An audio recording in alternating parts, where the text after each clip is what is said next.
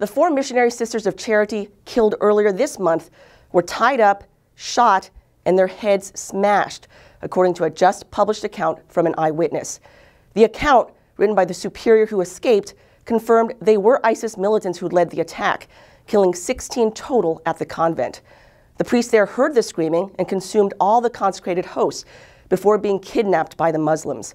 The Muslims also smashed the tabernacle, crucifix, statues, and religious books.